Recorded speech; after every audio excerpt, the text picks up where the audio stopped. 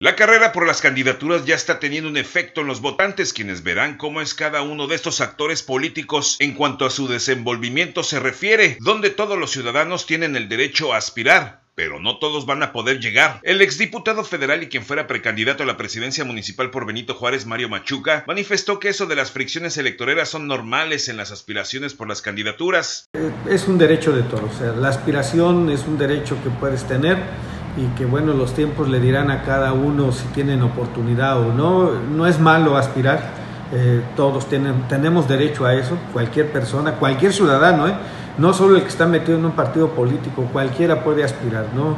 Pero bueno, entre aspirar y poder hay diferencia y, ahí este, falta ver qué dicen los partidos políticos y cómo vienen las candidaturas este, eh, independientes, que hoy en día es una parte también con la que se puede participar. Lo que sí es un hecho es que la importancia de estar preparado será fundamental, manifestó el expriista, porque para colocarse se debe de tener un trabajo previo con los ciudadanos, más que nada, y el velar por sus intereses. El proceso electoral que viene, voy a participar.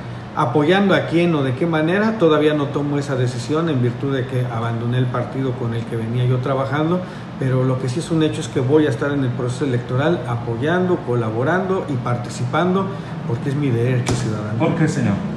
Es un derecho, un derecho que tenemos todos ciudadanos de participar, de votar, de ser votados, es un derecho constitucional, así que bueno, pues a mí en lo personal me ha gustado la convivencia que he tenido con mucha gente, la verdad que yo creo que la más grande satisfacción que me he llevado de la política es tener muchos amigos y amigas en las colonias y los lugares donde he visitado, lugares donde hasta la fecha yo puedo ir a visitar y sigo teniendo la amistad de mucha gente. Entonces, eso es lo que a mí en lo personal me gusta. Con imágenes de Eduardo Rodríguez, Juan Carlos Mendoza, Notivisión.